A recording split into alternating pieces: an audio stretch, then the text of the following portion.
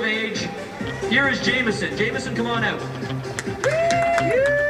It is 220 pounds, 17. All right, thanks guys, okay.